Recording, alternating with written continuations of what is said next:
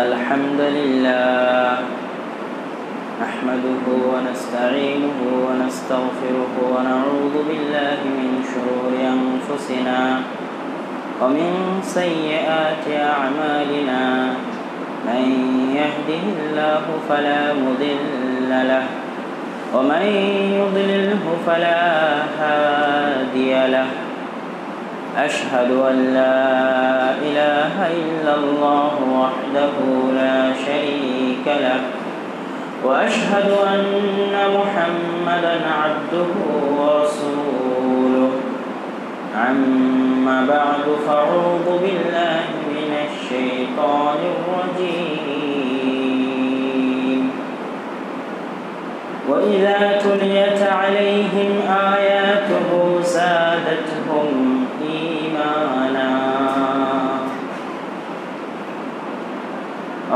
قال الله تعالى أيضا في كلامه المجيد والفجر وليال عشر.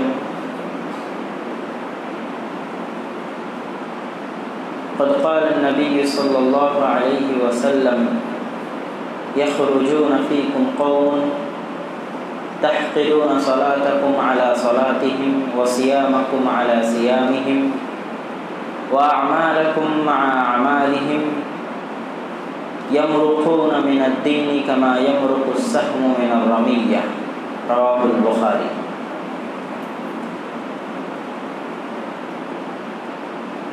وقال النبي صلى الله عليه وسلم صيام يوم عرفة أحتسب على الله أن يكفر السنة التي قبله والسنة التي بعده. মুসলিম। সম্মানিত উপস্থিতি, যাবতীয় প্রশংসা হাম ও সানা কেবলমাত্র সেই মহাপরাক্রমশালী সত্তার সানে নিয়োজিত, যার অপরিসীম দয়া, সীমাহীন রহমত ও করুণার বদৌলতে আজকে আমরা সিলেটের মাটিতে অবস্থিত এই মসজিদ আর তাকুয়াতে পবিত্র এই জুমার দিনে একত্রিত হতে পেরেছি, আলহামদুলিল্লাহ। তারপর পরে দরুদ সালাম বর্ষিত হোক পৃথিবীর সর্বশেষ ও সর্বশ্রেষ্ঠ রাসুল মোহাম্মদ ওসাল্লামের উপর। আজকের জুমার খুদ্বাই দুটি জরুরি বিষয়ে সংক্ষিপ্ত আলোচনা করব ইনশাআল্লাহ। প্রথমত জঙ্গিবাদ বিষয়ে। বর্তমানে যারা ইউটিউব, ফেসবুকের সাথে সম্পর্ক রাখেন, তারা জানেন যে বাংলাদেশে বাংলা ভাষাভাষীর মধ্যে নতুন একজন জঙ্গির আবির্ভাব হয়েছে। আমি নাম নিচ্ছি না। যে নতুনভাবে খারিজি আকিদাকে প্রচার ও প্রসার করার চেষ্টা করছে। সেই উপলক্ষে কিছু কথা থাকবে। দ্বিতীয়ত, যেহেতু আমাদের সামনে জিলহজ মাস সমুন্নত, উপস্থিত, সেহেতু জিলহজ মাসকে সামনে রেখে জিলহজ মাসের প্রথম দশ দিনের গুরুত্ব, মাহাত্ম, ফজিলত ও আমাদের করণীয় সম্পর্কে আলোচনা থাকবে ইনশা আল্লাহ আজিজ। প্রথমে খারিজিদের বিষয়ে, জঙ্গিদের বিষয়ে তিনটি হাদিস আপনাদের সামনে পাঠ করি। সহি বুখারির পাঁচ হাজার আঠান্ন নম্বর হাদিসে রসুল সাল্লাহ আলী ওয়াসাল্লাম বলছেন ইয়াখরুজুনাফিকুম কৌমুন অতি সত্তর তোমাদের মধ্যে একদল মানুষ বের হবে। অতি সত্তর তোমাদের মধ্যে একদল মানুষ বের হবে। তাহতেরুনা সলাতাকুম মা সলাতিহিম যাদের সালাতের সামনে তোমরা তোমাদের নিজের সলাতকে অনেক ছোট মনে করবে। যাদের সিয়ামের সামনে তোমরা নিজেদের সিয়ামকে ছোট মনে করবে, খাটো মনে করবে। যাদের আমলের সামনে তোমরা নিজেদের আমলকে ছোট মনে করবে, খাটো মনে করবে। অচিরেই এমন এক জামাত বের হবে, এমন এক দল বের হবে, এমন এক গোষ্ঠী বের হবে, যারা এবাদত তাকোয়া পরহেজগারিতা, সালাত, সিয়ামে তোমাদের চাইতে এত অগ্রগামী হবে, এত অগ্রগামী হবে যে সাহাবিরা তোমরা তোমাদের সালাত, সিয়ামকে, তোমরা তোমাদের আমল আখলাককে তাদের সামনে ছোট মনে করবে। জেনে রাখো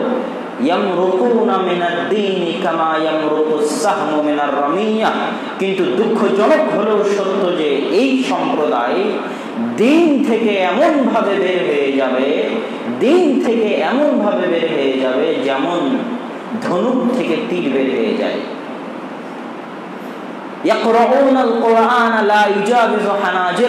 তারা কোরআন তেলাওত করবে ঠিকই, কিন্তু কোরআন তেলাওত তাদের কণ্ঠনালী অতিক্রম করবে না। পাঁচ হাজার নম্বর হাদিস।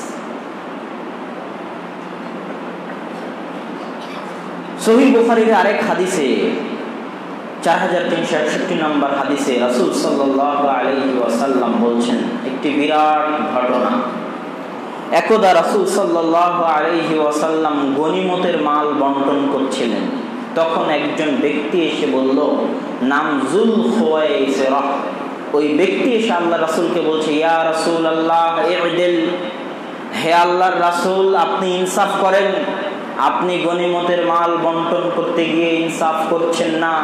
আপনি ইনসাফ করেন। আল্লাহর রাসুলকে জুল খোয়াইসেরা নামক একজন ব্যক্তি এসে বলছে যে, আল্লাহর রাসুল, আপনি গনিমতের মাল বন্টনে অন্যায় করছেন, দুর্নীতি করছেন। আপনি ইনসাফ করেন। জবাবে রাসুল সাল্লাহ আলহি ওয়াসাল্লাম বলছে যে, জমিনের উপরে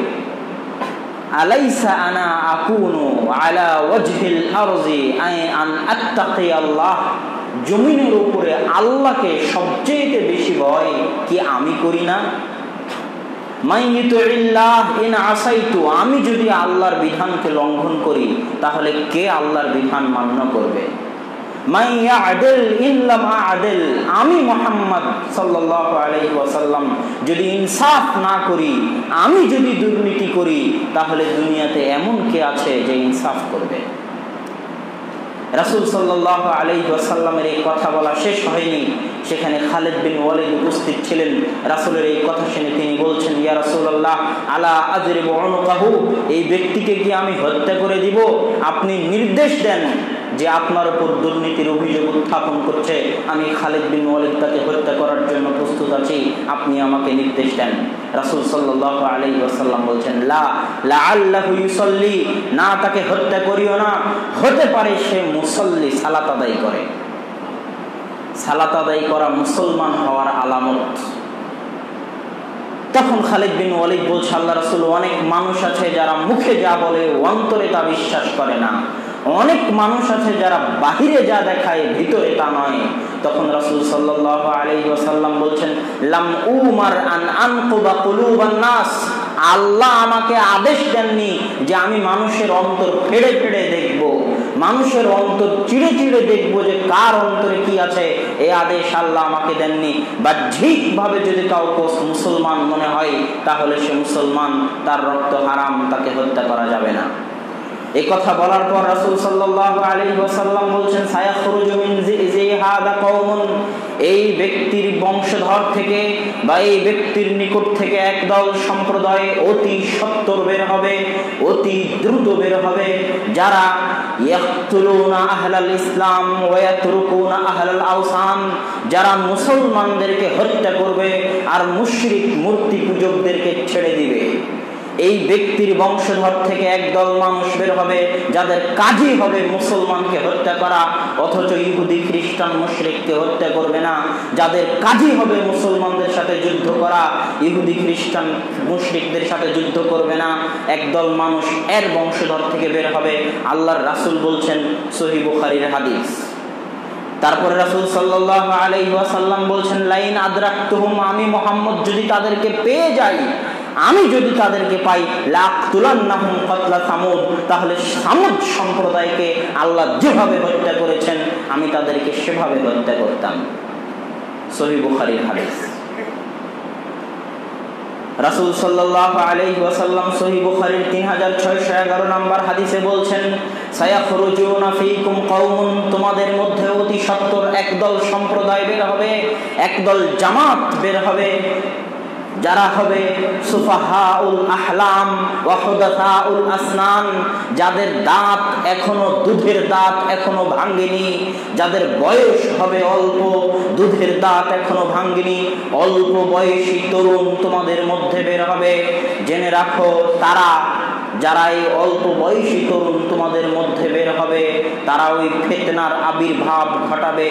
যদি তোমরা তাদেরকে পেয়ে যাও তাহলে তাদেরকে হত্যা করিও। ফাইন্নাফি কেননা তাদের হত্যার মধ্যে রয়েছে আজরুন নেকি। যদি এই সম্প্রদায়কে পেয়ে যাও, তাহলে তোমরা তাদেরকে হত্যা করিও। তাদের হত্যার মধ্যে নেকি রয়েছে। এই তিনটি হাদিস সহি বুখারি থেকে আমি আপনাদের সামনে পড়ে শোনালাম, অনুবাদ করে শোনালাম। তিনটি হাদিসি মহাদ্দিসদের পরিভাষায় রাসুল সাল্লাহ আলহি আসাল্লাম খারেজি জঙ্গিদের উদ্দেশ্য করে বলেছে এই খারেজি জঙ্গিদের বিভ্রান্ত আকিদার উৎপত্তি কোথায়? যদিও সময় সংকীর্ণ, তারপরও যত দ্রুত পাপ পারা যায়, আমি শেষ করার চেষ্টা করব। বিভ্রান্তির উৎস দুই জায়গায়। এক কবিরা গুনাহগার মুসলমানকে কাফের মনে করা আর দুই ইসলামী রাষ্ট্রকে, মুসলিম রাষ্ট্রকে, দারুল ইসলামকে, দারুল কুফুর মনে করা, ইসলামী রাষ্ট্রকে কাফের রাষ্ট্র মনে করা, কবিরা গুনাহগার মুসলমানকে কাফের মনে করা আর ইসলামী রাষ্ট্রকে কাফের রাষ্ট্র মনে করা। কবিরা গুনাহগার মুসলমানকে কেন তারা কাফের মনে করে?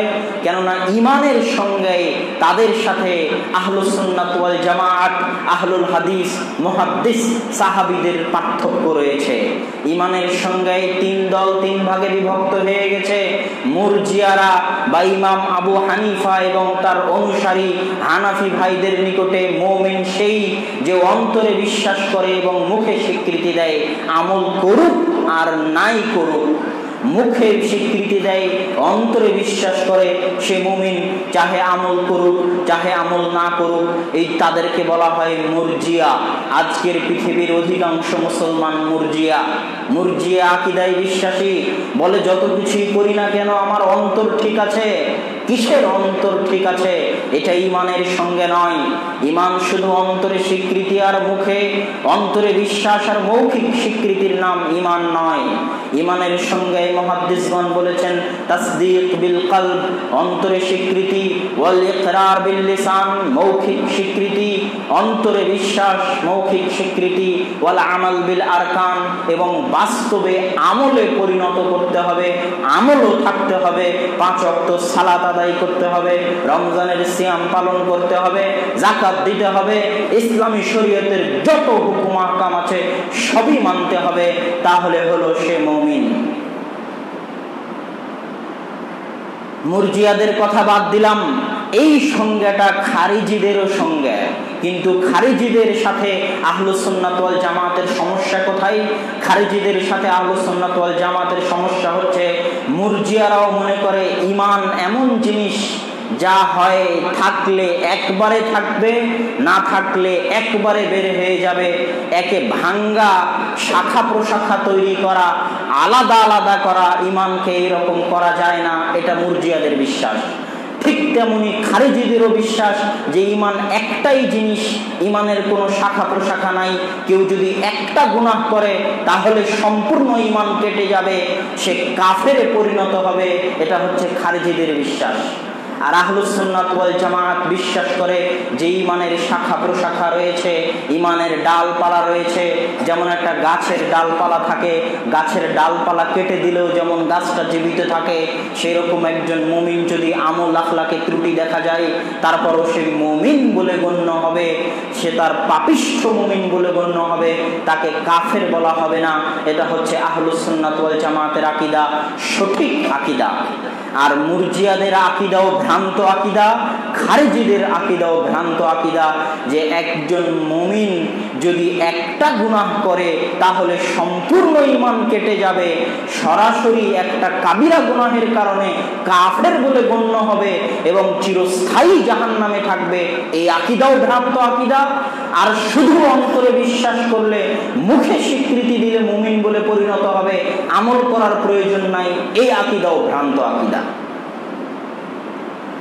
এবার আমরা আসি, একজন কবিরা গুনাহগার মুসলমান, সে কাফের কেন নয়? এবং ইমানের শাখা প্রশাখা আছে কিনা? রাসুল সাল্লাহ আলাইহি ওয়াসাল্লাম সহি বুখারীর নয় নাম্বার হাদিসে বলছেন, আল আ'লাহা লা ইলাহা ইল্লাল্লাহ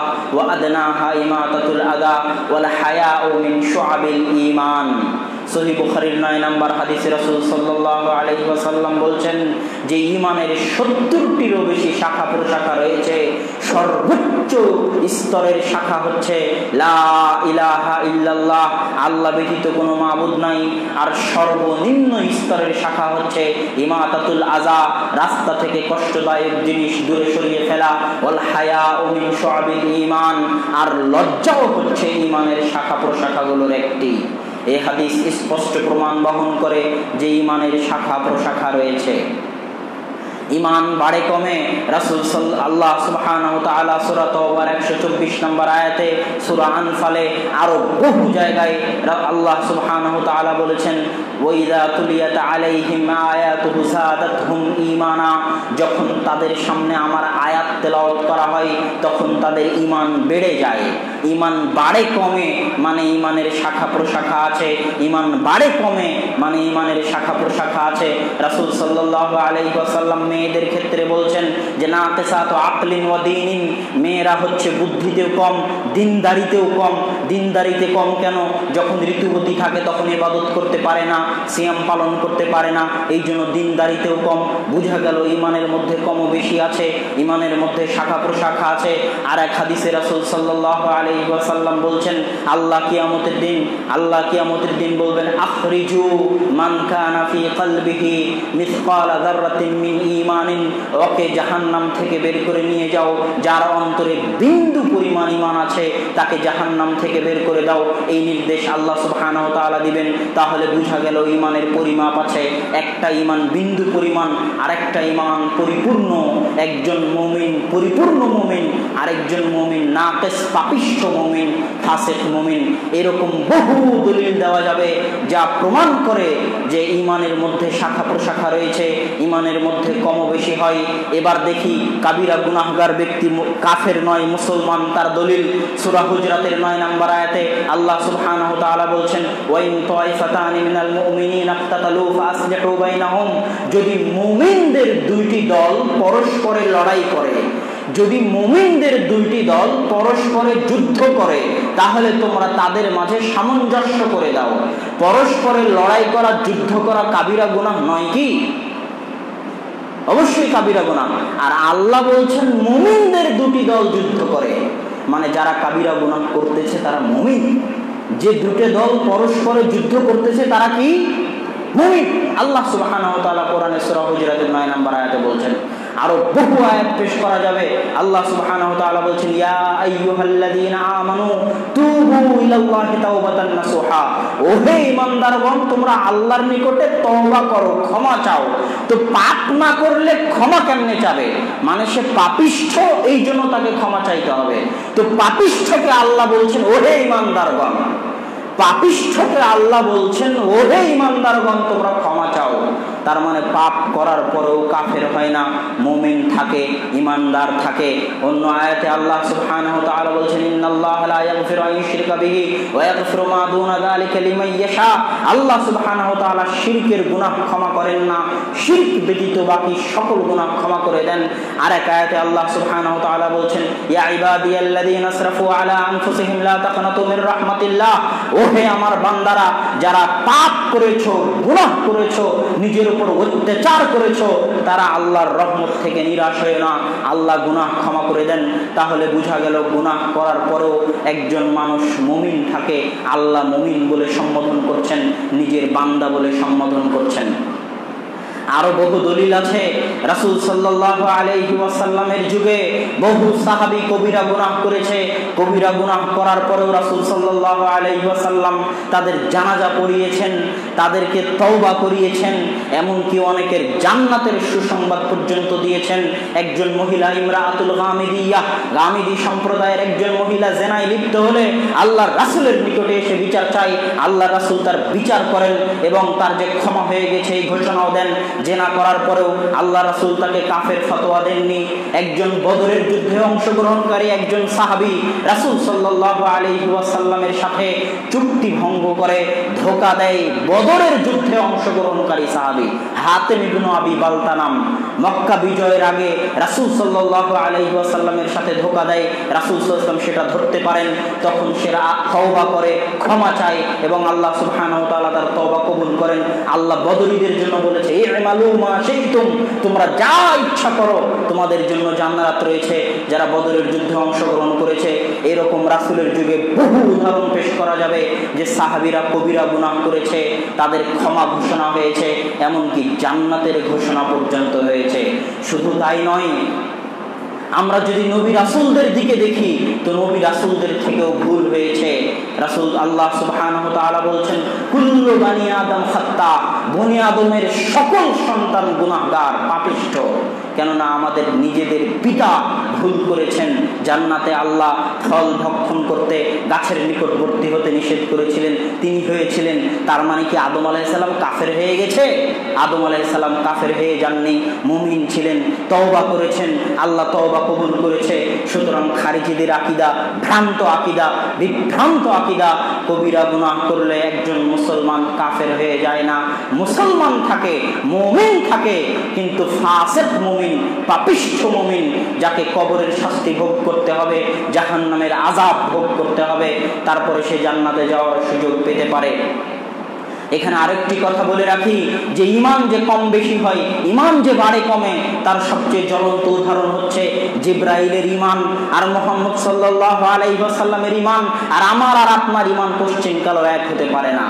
যে জিব্রাইল সর্বদা আল্লাহ নিয়ামত দেখছে জান্নাত দেখছে জাহান্নাম দেখছে তার ইমান আর যে মোহাম্মদ জান্নাত দেখেছেন, জাহান্নাম দেখেছেন তার ইমান আর যে আবু বকর যে উমর দেখেছে সাথে দেখেছে তাদের ইমান আর আমাদের ইমান এক হতে পারে না। সুতরাং ইমানের মধ্যে পার্থক্য আছে ইমানের মধ্যে কম বেশি আছে। একজন মুসলমান পূর্ণাঙ্গ মমিনও হতে পারে, পাপিষ্ঠ মমিনও হতে পারে, ফাসেক মমিনও হতে পারে। এরপরের জরুরি আলোচনা, এই সংক্ষিপ্ত আলোচনায় প্রমাণ করে দিলাম যে কাবিরা গুনাহগার ব্যক্তি মুসলমান থাকে, কাফের হয় না। এরপরের সংক্ষিপ্ত আলোচনা হচ্ছে, ইসলামী রাষ্ট্রকে খারিজিরা কাফের রাষ্ট্র মনে করে। কাকে আমরা ইসলামী রাষ্ট্র বলব, কাকে আমরা মুসলিম রাষ্ট্র বলব? মহাদ্দিসদের, ফোকাহাদের পরিভাষায় বোঝা যায়, যেই দেশে ইসলামের গালবা প্রাধান্য রয়েছে ইসলামের পাঁচটি স্তম্ভ স্বাধীনভাবে পালন করা যায়। সালাত আদায় করতে কেউ বাধা দেয় না, সিয়াম পালন করতে কেউ বাধা দেয় না, হজ করতে কেউ বাধা দেয় না। এমন দেশ, এমন রাষ্ট্র যেখানে ইসলামের পাঁচটি স্তম্ভ যাবতীয় হুকুম আকাম স্বাধীনভাবে পালন করা যায়, যেখানে মুসলমানদের সংখ্যা বেশি, যেখানে শাসকও মুসলমান, সেই রাষ্ট্রকে ইসলামী রাষ্ট্র বলে গণ্য করতে হবে। তাকে কাফের রাষ্ট্র বলা যাবে না। হতে পারে একটা রাষ্ট্রে সম্পূর্ণ ইসলাম থাকে না, যেমন একজন মমিনের মধ্যে সম্পূর্ণ ইমান থাকে না, তারপরেও সে মমিন। ঠিক তেমনি একটা রাষ্ট্রের মধ্যে ইসলামের সকম হুকুম মানা না হলেও ওই রাষ্ট্রকে কাফের রাষ্ট্র ফতোয়া দেওয়া যাবে না। ওই রাষ্ট্র ইসলামী রাষ্ট্র বলে গণ্য হবে। যতক্ষণ ওই রাষ্ট্রে ইসলামেরই হুকুম আহকাম পালন করতে বাধাগ্রস্ত হতে না হয়েছে, ততক্ষণ পর্যন্ত ওই রাষ্ট্র ইসলামী রাষ্ট্র বলে গণ্য হবে। সুতরাং এখানে আরও একটি কথা বলে নিতে হয় যে রাসুল সাল্লাহ আলহি ওয়াসাল্লাম যেমন বলেছেন যে তারা যুদ্ধ করবে, মুসলমানদের বিরুদ্ধে মুসলমানদেরকে হত্যা করবে আর ইহুদি, খ্রিস্টান, মুশ্রিকদেরকে ছেড়ে দিবে। আজকের খারেজিদেরও একই অবস্থা। তারা শুধু ইসলামী রাষ্ট্র, মুসলিম রাষ্ট্রকে কাফের রাষ্ট্রে পরিণত করে, ইসলামী মুসলিম শাসককে কাফের শাসকে পরিণত করে, কবিরা গুনাহগার মুসলমানকে কাফের ঘোষণা দিয়ে বম মেরে, হত্যা করে, যুদ্ধ করে সেখানে জোরপূর্বক ইসলাম প্রতিষ্ঠা করতে চায়, এটা কবিরা গুনাহ। একজন মুমিন মুসলমানকে হত্যা করা কত বড় কবিরা গুনাহ? সূরা নিসার 93 নম্বর আয়াতে আল্লাহ সুবহানাহু তাআলা বলছেন মুমিনান মুতাআম্মিদান ফাজাযাউহু জাহান্নাম। যে ব্যক্তি একজন মুমিনকে হত্যা করবে, তার থাকার জায়গা জাহান্নাম। এতটুকু বললেই যথেষ্ট ছিল যে কেউ যদি মুমিনকে হত্যা করে, তাহলে তার থাকার জায়গা জাহান্নাম। এতটুকু বললেই যথেষ্ট ছিল, কিন্তু একজন মুমিনকে হত্যা করা এত বড় গুনাহ, এত বড় গুনাহ, এত বড় গুনাহ যে আল্লাহ তাআলা এতটুকুতে ক্ষান্ত হননি। তারপরে বলছেন, খালিদান ফিহি, জাহান্নামে চিরস্থায়ী থাকবে। এতটুকু বললেও যথেষ্ট ছিল, কিন্তু একজন মুমিনকে হত্যা করা এত বড় গুনাহ যে আল্লাহ এতটুকুতে ক্ষান্ত হননি। তারপরে বলছেন আলাইহি, যে মুমিনকে হত্যা করবে, আল্লাহ তার উপর রাগান্বিত। এতটুকু বললেও যথেষ্ট ছিল, আল্লাহ তারপরেও ক্ষান্ত হননি। আল্লাহ বলছেন, ওয়া লানাহু, আল্লাহর অভিশাপ বর্ষিত হোক, তার উপরে এতটুকু বললেও যথেষ্ট ছিল। আল্লাহ এখানেও ক্ষান্ত হননি। তারপরে বলছেন, ওয়া আদালাহু আযাবান। আল্লাহ কিয়ামতের মাঠে তার জন্য কঠিন ও কঠোর শাস্তি প্রস্তুত করেছেন। কেউ যদি মুমিনকে হত্যা করে, এক জাহান নামে যাবে, চিরস্থায়ী জাহান নামে থাকবে। আল্লাহ তার উপর রাগান্বিত, তার উপর আল্লাহর অভিশাপ কিয়ামতের মাঠে তার জন্য রয়েছে ভয়াবহ কঠিন শাস্তি। রাসূল সাল্লাল্লাহু আলাইহি ওয়াসাল্লাম এক হাদিসে বলছেন যে লাইন আহলাল আরজি যদি দুনিয়ার মানুষ আর আসমানের সকল ফেরেশতা একত্রিত হয়ে, আসমানবাসী এবং দুনিয়াবাসী একত্রিত হয়ে একজন মুমিনকে হত্যা করে বিনা অপরাধে, লা কাব্বাহুমুল্লাহু জামিআন আল্লাহ সকলকে জাহান্নামে দিয়ে দিবেন, পরোয়া করবেন না, একজন মুমিনের রক্তের মূল্যের এত দাম যে সারা পৃথিবীর সকল মানুষ আর আসমানের সকল ফেরেস্তা মিলে, সকল জিন মিলে যদি একজন মুমিনকে হত্যা করে, আল্লাহ সকলকে জাহান নামে দিয়ে দিবেন। আল্লাহ তাআলা পরোয়া করবেন না। আর এক হাদিসে রাসূল সাল্লাল্লাহু আলাইহি ওয়াসাল্লাম বলছেন যে, কতলু মুমিনিন, একজন মুমিনকে হত্যা করা আল্লাহ সুবহানাহু ওয়া তাআলার নিকটে দুনিয়া ধ্বংস হয়ে যাওয়ার চাইতেও ভয়াবহ। আর এক হাদিসে রাসূল সাল্লাল্লাহু আলাইহি ওয়াসাল্লাম আরাফার মাঠে বক্তব্য দিতে গিয়ে বলছেন যে, তোমাদের রক্ত, তোমাদের ধন সম্পদ এবং তোমাদের সম্মান অন্য মুসলমানের উপর এমন ভাবে হারাম কাহুরমাতে ইয়াউমিকুম হাজা আজকের দিন যেমন মর্যাদা সম্পূর্ণ কাহুরমাতে শাহরিকুম হাজা আজকের মাস যেমন মর্যাদা সম্পূর্ণ, আজকের এই জায়গা মক্কা যেমন মর্যাদা সম্পূর্ণ। একজন মুসলমানের রক্ত তার চাইতে বেশি মর্যাদা সম্পূর্ণ। এই জন্য আল্লাহ সুবহানাহু ওয়া তাআলা কোরআনে বলছেন, মান কাতালা নাফসান বিগাইরি নাফসিন কেউ যদি অন্যায়ভাবে একজন মানুষকে হত্যা করে, ফাকা আন্নামা কাতালান নাস জামিআ, সে যেন সারা দুনিয়ার মানুষকে হত্যা করল।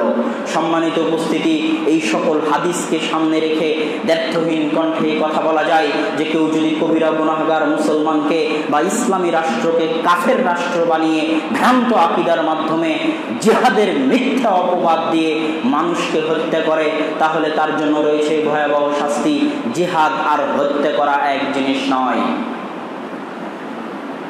তারপরে আমাদের যেটা জরুরি আলোচনা, সেটা হচ্ছে যে আমাদের সামনে জিলহজ মাস জিলহজ মাস উপস্থিত। জিলহজ মাসকে সামনে রেখে কয়েকটি জরুরি কথা আপনাদের সামনে পেশ করার চেষ্টা করব ইনশা আল্লাহ আজিজ। রাসুল সাল্লাহ আলহি ওয়াসাল্লাম বলছেন আব্দুল্লাহ বিন আব্বাস রাদিয়াল্লাহু তাআলা আনহু থেকে বর্ণিত। তিনি বলেন, রাসূল সাল্লাল্লাহু আলাইহি ওয়াসাল্লাম বলেছেন যে, মা মিন আইয়ামিন আহাব্বু ইলাল্লাহি আল আমালুস সালিহ ফিহা মিন হাযিহিল আইয়াম, আইয়ামু আশারাতি দিল হজ্জাহ আল্লাহ সুবহানাহু তাআলার নিকটে, আল্লাহ সুবহানাহু তাআলার নিকটে অন্য দিনগুলোতে সৎ আমল করা, আর এই দশ দিনে সৎ আমল করা এক নয়, বরং আল্লাহর নিকটে সবচেয়ে প্রিয়, সবচেয়ে উত্তম, সবচেয়ে ভালোবাসার, সবচেয়ে সুন্দর, উত্তম সৎ আমলের দিন হচ্ছে এই দশ দিন, জিলহজ মাসের দশ দিন। জিলহজ মাসের দশ দিন এত মহান, এত মহৎ যে আল্লাহ সুবহানাহু কোরআন মাজিদে জিলহজ মাসের এই দশ দিনকে নিয়ে কসম খেয়েছেন। ওয়াল ওয়ালায়ালিন আশর সকালের কসম এবং দশটি দিন, দশটি রাতের কসম। এই দশ দিন, এই দশ রাত হচ্ছে জিলহজ মাসের এই দশ রাত। রাসূল সাল্লাল্লাহু আলাইহি ওয়াসাল্লাম জিলহজ মাস বিষয়ে রাসূল সাল্লাল্লাহু আলাইহি ওয়াসাল্লাম থেকে বর্ণিত, কানা ইয়াসুমু তিসআম জিলহিজ্জাহ রাসূল সাল্লাল্লাহু আলাইহি ওয়াসাল্লাম জিলহজ মাসের 9 দিন সিয়াম পালন করতেন। জিলহজ মাসের 9 দিন তিনি প্রথম 9 দিন সিয়াম পালন করতেন। আর এক হাদিসে রাসূল সাল্লাল্লাহু আলাইহি ওয়াসাল্লাম বলছেন যে ফাআকসিরু ফীহিন্না তাহলিলা ওয়াত তাহমিদা ওয়াত তাকবীরা জিলহজ মাসের এই 10 দিন এত মহান, এত মহৎ যে, তোমরা এই 10 দিনে বেশি বেশি তাসবিহ পাঠ করো, বেশি বেশি তাকবীর পাঠ করো, বেশি বেশি আল্লাহর জিকির আজকার করো, এই 10 দিন অনেক মহান। এই 10 দিন কেন এত মহান? এই 10 দিনের মধ্যে এমন এক দিন রয়েছে, যেই দিন বিষয়ে রাসূল সাল্লাল্লাহু আলাইহি ওয়াসাল্লাম বলছেন সহিহ মুসলিমের 1162 নম্বর হাদিসে যে, সিয়ামু আরাফা আহতাসিবু আলাল্লাহি ওয়াস সানাতাল্লাতী বা'দাহু। এই 10 দিনের মধ্যে একদিন হচ্ছে আরাফার দিন, জিলহজ মাসের 9 তারিখ আরাফার দিন। এই দিনে যদি কেউ সিয়াম রাখে, রাসূল সাল্লাল্লাহু আলাইহি ওয়াসাল্লাম বলছেন, তার পূর্বের এক বছরের গুনাহ এবং পরের এক বছরের গুনাহ আল্লাহ তাআলা ক্ষমা করে দিবেন। এই আরাফার দিন এত মহৎ, এত মহান। সহি মুসলিমের আর এক হাদিসে রাসূল সাল্লাল্লাহু আলাইহি ওয়াসাল্লাম বলছেন, ইন্নাল্লাহা ইউবাহি ফি হাদাল ইয়াউম বিআরদি, বিআহলিল আরদি মাআল মালায়েকা। এই দিনে আল্লাহ সুবহানাহু ওয়া তাআলা ফেরেশতাদের সাথে দুনিয়াবাসীকে নিয়ে গর্ব করেন। ফেরেশতাদেরকে বলেন উনদুরু ইলা ইবাদি শুরফান গুবারান। দেখো আরাফার মাঠে আমার হাজার হাজার বান্দা সাদা কাপড়ে ধুলামলিন মুখ উস্কো খুস্কো চুল সাদা কাপড়ে একত্রিত হয়েছে। তাদেরকে দেখো, এই দিনের ব্যাপারে রাসুল সাল্লাহ আলাইহি ওয়াসাল্লাম বলছেন যে অন্য কোনো দিনে মা মিন ইয়াউমিন আকসারা ইউতিকাল্লাহু ফীহি আন-নাস মিনান নার। অন্য কোন দিনে আল্লাহ সুবহানাহু তাআলা মানুষকে এত জাহান্নাম থেকে মুক্তি দেন না, যত আরাফার দিনে দেন। আরাফার দিনে যত মানুষকে আল্লাহ ক্ষমা করেন, যত মানুষকে আল্লাহ জাহান্নাম থেকে মুক্তি দেন। অন্য কোন দিনে এত মানুষকে আল্লাহ জাহান্নাম থেকে মুক্তি দেন না, অন্য কোন দিনে এত মানুষকে আল্লাহ সুবহানাহু তাআলা ক্ষমা করেন না। এই আরাফার দিনও রয়েছে, এই জিলহজ মাসের 10 দিনের মধ্যে ইসলামের পাঁচটি স্তম্ভের একটি স্তম্ভ হচ্ছে হজ। এই হজ পালন করা হয় জিলহজ মাসের এই 10 দিনের মধ্যে, প্রথম 10 দিনের মধ্যে। এই তারপরে হজ সংশ্লিষ্ট যা কিছু আছে, ইব্রাহিম আলাইহি সালামের স্মৃতি, মিনার মাঠ, মুজদালিফার মাঠ, আরাফার মাঠ, কাবা ঘর, ইব্রাহিম এবং ইসমাইলের স্মৃতি, সবই এই জিলহজ মাসের দশ দিনের সাথে সংশ্লিষ্ট।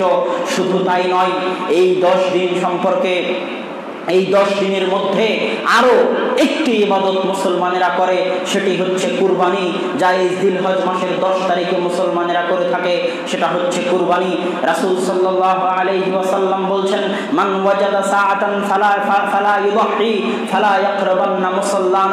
যে ব্যক্তির সামর্থ্য রয়েছে কুরবানি করার, কিন্তু কুরবানি করল না, সে যেন আমাদের মাঠের ঈদগাহের মাঠের নিকটবর্তী না হয়, সে যেন আমাদের ঈদগাহের মাঠের নিকটবর্তী না হয়।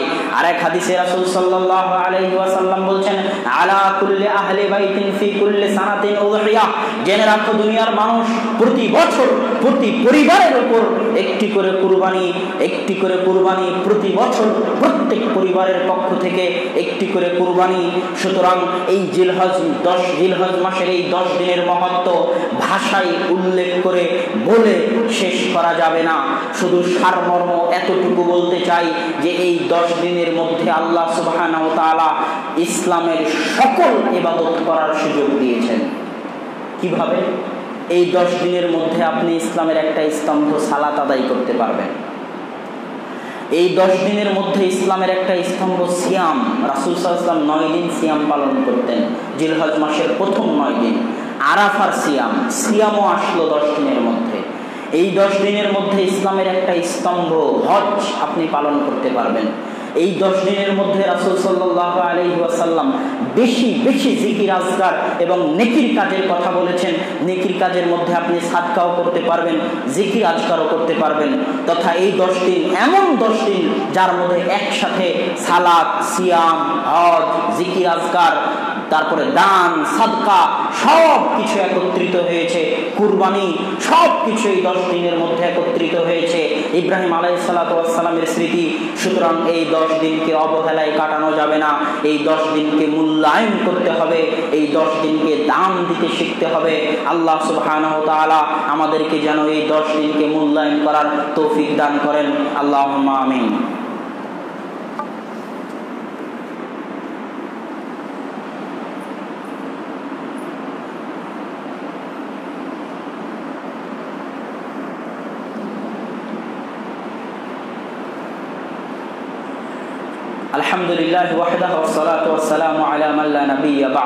বক্তব্যের এই পর্যায়ে এসে সংক্ষিপ্ত কয়েকটি আপনাদের সামনে পেশ ইনশাআল্লাহ। একটি কথা, বক্তব্যের মধ্যে একটা হাদিস ছুটে গেছে। বলেছেন, আফজাল দুনিয়া সারা পৃথিবীর সকল দিনের মধ্যে সর্বশ্রেষ্ঠ দিন হচ্ছে এই জিলহজ মাসের দশ দিন। জিলহজ মাসের এই দশ দিনের ওপর আলাদা বই লিখেছেন ইমাম তাবারানি রাহিমাহুল্লাহ। ফাজল আশরে জিল হিজ্জা নামে ইমাম তাবারানি রাহিমাহুল্লাহ আলাদা বই লিখেছেন জিলহজ মাসের এই দশ দিনের মহত্বের উপর। পৃথিবীর সর্বশ্রেষ্ঠ দিন হচ্ছে এই জিলহজ মাসের এই দশটি দিন। এই দশ দিনের সাথে সংশ্লিষ্ট কিছু মাসালা বা কুরবানির সাথে সংশ্লিষ্ট কিছু মাসালা, এক নাম্বার মাসালা হচ্ছে আমাদের মনের মধ্যে প্রশ্ন থাকে যে আমরা এই প্রশ্ন প্রচুর আসে যে মৃত ব্যক্তির পক্ষ থেকে কুরবানি করতে পারব কিনা? মৃত ব্যক্তির পক্ষ থেকে কুরবানি করা যাবে না। যদি আপনি মৃত ব্যক্তির পক্ষ থেকে কিছু মানুষকে দিতে চান, তাহলে গরু, ছাগল কিনে সাদকা করতে পারেন। মৃত ব্যক্তির পক্ষ থেকে সাদকা করা যায়। গরু, ছাগল কিনে পুরো গোস্তটা গরিব মিসকিনের মধ্যে বন্টন করে দেন, কিন্তু মৃত ব্যক্তির নামে কুরবানি করা যাবে না। দ্বিতীয় আরেকটি প্রশ্ন খুব বেশি আসে, সেটি হচ্ছে, একই দিনে কুরবানির খাসির সাথে আকিকাও দেওয়া যাবে কিনা? জি না, কুরবানির খাসির সাথে আকিকা দেওয়া যাবে না, বরং কুরবানির জন্য আলাদা হতে হবে। যদি দেখা যায় যে আপনার সন্তানের সাত দিনের দিন ওই কুরবানির দিন পড়েছে, তাহলে কুরবানির খাসি আলাদা হতে হবে। আকিকার খাসি আলাদা হতে হবে, একসাথে দেওয়া যাবে না। তৃতীয় প্রশ্ন হচ্ছে, আমরা সাত ভাগে কুরবানি করতে পারি কিনা? সাত ভাগে কুরবানির বিষয়ে আপনাকে কয়েকটি মোটা মোটা কথা, কয়েকটা পয়েন্টের কথা বলব, যেটা মনে রাখলে আপনার সিদ্ধান্ত নিতে সুবিধা হবে। এক, রাসুল সাল্লাহ আলহিসাল্লাম বলেছেন, পরিবারের পক্ষ থেকে কুরবানি লাগবে একটি। যদি আপনি সাত ভাগে কোরবানি দেন, তাহলে পরিবারের পক্ষ থেকে হবে কিনা, এটার কোনো নিশ্চয়তা নাই। আমরা বলি যে হবে না, শুধু আপনার পক্ষ থেকে হবে, আপনার পরিবারের পক্ষ থেকে হবে না। সুতরাং রাসুলের এই নির্দেশ পালন করা হলো না। দুই, যদি সাত ভাগে কোরবানি করা হয়, তাহলে সাত ভাগে কুরবানি করা হলে সেখানে সাতজন ব্যক্তির টাকা একসাথে সম্পৃক্ত হয়। এই সাতজনের ধন সম্পদ উপার্জিত হালাল না হারাম, এটা যাচাই বাছাই করে দেখা বা এটা পর্যালোচনা করার অনেক সময় সুযোগ হয় না।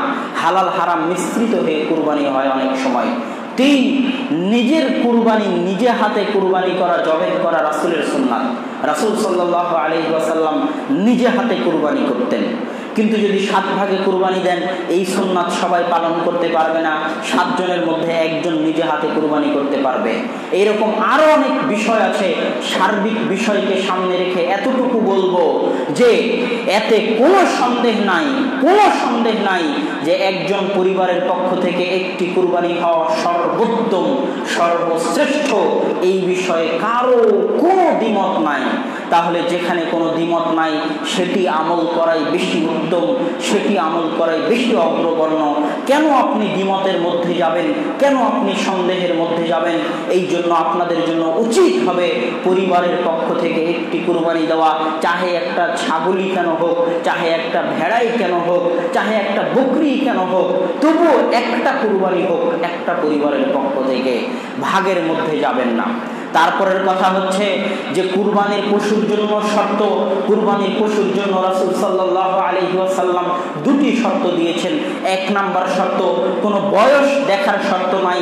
শর্ত হচ্ছে মুসিন্না যেটা জন্মের পরে যে দাঁত ছিল, যেটাকে আমরা দুধ দাঁত বলি, সেই দাঁত ভেঙে নতুন দাঁত গজিয়েছে কিনা, নতুন দাঁত গজালে ওই পশুর কুরবানি শুদ্ধ হবে, এটা হলো একটা শর্ত। দ্বিতীয় শর্ত, কুরবানির পশু যেন স্পষ্ট খোড়া স্পষ্ট কানা, অসুস্থ, রোগী, জীর্ণ, শীর্ণ, শিং ভাঙ্গা, কান কাটা, এই জাতীয় হওয়া চলবে না। রাসুল সাল্লাহ আলহিহাসাল্লাম সরাসরি নিষেধ করেছেন, স্পষ্ট কানা, স্পষ্ট খোড়া জীর্ণ, শীর্ণ, রোগী কান কাটা, শিং ভাঙ্গা এই জাতীয় পশু হওয়া চলবে না। এই দুইটা শর্ত কুরবানির পশুর জন্য লাগবে। কুরবানি করতে গিয়ে আপনাদের যেন মাথায় থাকে যে এই কুরবানি হচ্ছে ইব্রাহিম আলাইহি সালামের সুন্নাত। যখন ইব্রাহিম আলাই সালাম ছেলেকে বললেন যে, বেটা, আমি স্বপ্নে দেখছি রয়তু ফিল মানা আমি আমি স্বপ্নে দেখছি যে আমি তোমাকে কুরবানি করতেছি। তখন জবাবে ইসমাইল আলাইহি সালাম বলছেন যে, আপনি আপনার আল্লাহর আদেশ মানেন আপনি আমাকে ধৈর্যশীলদের অন্তর্ভুক্ত পাবেন। পিতা যেমন আল্লাহর নির্দেশ মানতে নিজের সন্তানকে কুরবানি করতে প্রস্তুত, সন্তান তেমন আল্লাহর নির্দেশ মানতে নিজের জীবন দিতে প্রস্তুত।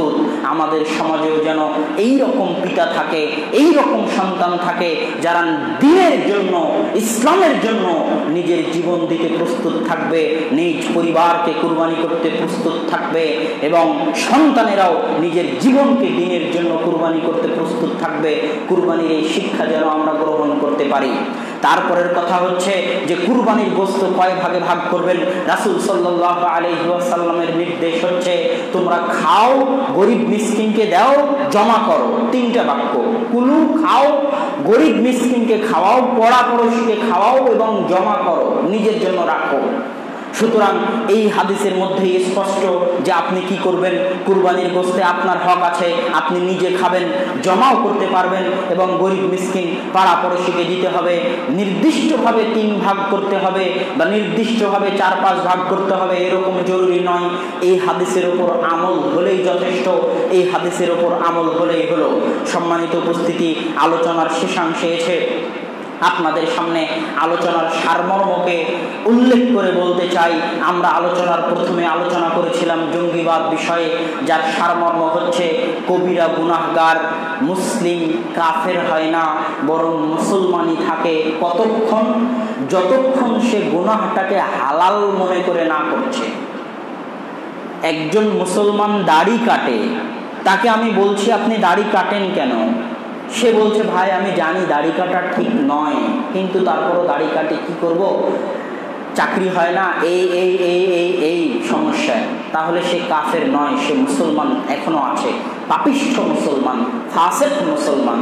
কিন্তু সে যদি বলে, এই কে বলে ছেড়ে দাড়ি কাটা নিষেধ? আমি দাড়ি কাটবো তোর কি? আমি দাড়ি কাটাকে হালাল মনে করি। তাহলে সে কাফের হয়ে যাবে। গুনাহ করছে ঠিকই কিন্তু গুনাহকে হালাল মনে করে না। জেনা করছে, কিন্তু জেনাকে হারাম মনে করে। যে আমি যে কাজটা করছি কাজটা অন্যায়, এটা গুনাহের কাজ। তাহলে জেনা করলেও সে মমিন থাকবে, ফাসেক মমিন, পাপিষ্ঠ মমিন, তার কঠোর কঠিন শাস্তি হবে। কিন্তু জেনা যদি হালাল মনে করে, জেনা করে, তাহলে কাফের হয়ে যাবে, সে আর মমিন থাকবে না। ওই জঙ্গিবাদ সংশ্লিষ্ট আলোচনার আরেকটা মূল অংশ ছিল যে ইসলামী রাষ্ট্রকে কাফের রাষ্ট্রে পরিণত করা। ইসলামী রাষ্ট্র যেমন আমাদের বাংলাদেশে, বাংলাদেশকে কি আমরা ইসলামী রাষ্ট্র বলতে পারি? বলতে পারি। কেন? বাংলাদেশ এই জন্য একজন মুসলিম রাষ্ট্র, ইসলামী রাষ্ট্র, এই দেশে সালাদ সিয়াম, হজ জাকাত কিছু আদায় করতে কোনো বাধা আসে বলে কোনো প্রমাণ নাই। এই দেশে আপনার পারিবারিক যে আইন ইসলামের, সেই পারিবারিক আইন রাষ্ট্রীয়ভাবে মান্য করা হয়। পারিবারিক আইন কাকে বলে? তালাকের আইন, ওয়ারিসের আইন মানে পিতা মারা গেলে সম্পত্তি ভাগ হওয়ার আইন। এই আইন রাষ্ট্রীয়ভাবে ইসলামী আইন মানা হয়। বিবাহ সংক্রান্ত তালাক রাষ্ট্রীয়ভাবে ইসলামী আইন মানা হয়।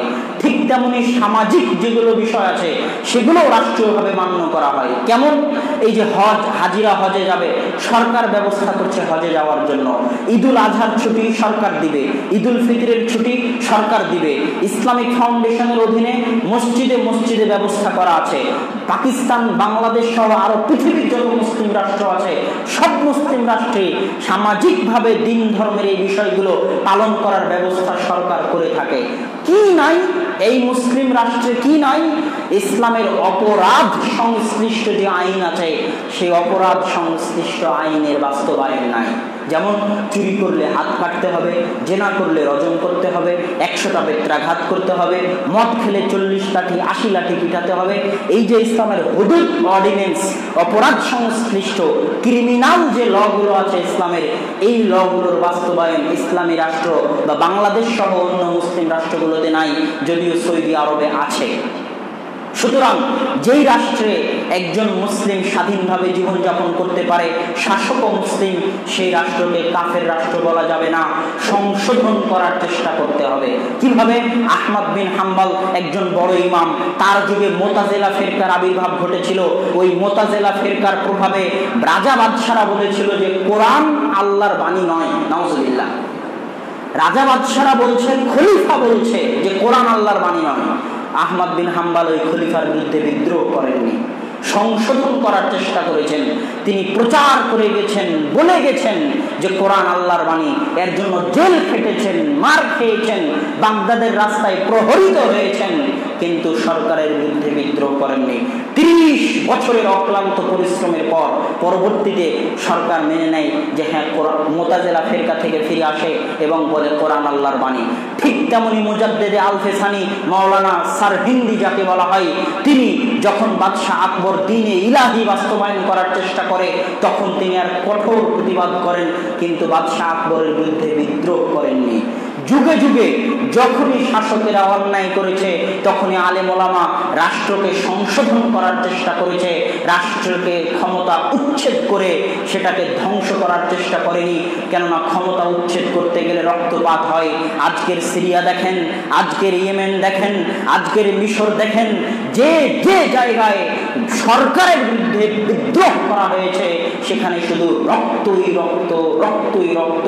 ইহুদি খ্রিস্টানের রক্ত নয় হিন্দু বৌদ্ধের রক্ত নয়, মুসলমানের রক্ত। এক মুসলমান আর এক মুসলমানকে কাফের ফতোয়া দিয়ে হত্যা করছে। মুসলমান মুসলমানকে হত্যা করছে। শুধু এই কারণে, এই জন্য খারিজি ফিতনাকে কঠোর হস্তে দমন করতে হবে। আল্লাহ সুবহানাহু তাআলা আমাদেরকে খারিজি ফিতনাকে কঠোরভাবে দমন করার সুযোগ দান করুক। এই বিষয়ে বিস্তারিত আলোচনার প্রয়োজন আছে। আমি যা বলার জন্য প্রস্তুতি নিয়ে এসেছিলাম, তার তিন ভাগের দুই ভাগও বলে শেষ করতে পারিনি। অন্য সময়ে বা আজকে যদি মাগরিবের পরে প্রোগ্রাম হয়, সেখানে ইনশাআল্লাহ আলোচনা করার চেষ্টা করব। আল্লাহ সুবহানাহু তাআলা আমাদেরকে খারিজি ফিতনা থেকে রক্ষা করুন এবং জিলহজ মাসের এই দশ দিনকে গুরুত্ব দিয়ে এই দশ দিনে বেশি বেশি সিয়াম, বেশি বেশি সালাত, বেশি বেশি জিকির আজকার এবং আরাফার সিয়াম আর সাত ভাগে কুরবানি না দিয়ে পরিবারের পক্ষ থেকে একটি কুরবানির মাধ্যমে সঠিক পদ্ধতিতে এই দশ দিনকে পালন করার এবং ঈদুল আজহা উদযাপন করার তৌফিক দান ونستغفرك اللهم آمين. يا أيها الذين آمنوا صلوا عليه وسلموا تسليما. اللهم صل على محمد وعلى آل محمد كما صليت على إبراهيم وعلى آل إبراهيم إنك حميد مجيد. اللهم بارك على محمد وعلى آل محمد كما باركت على إبراهيم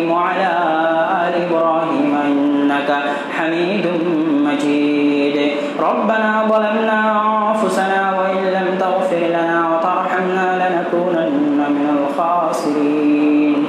ربنا آتنا في الدنيا حسنة وفي الآخرة حسنة وقنا عذاب النار. اللهم انصر من نصر دين محمد صلى الله عليه وسلم واجعلنا منهم.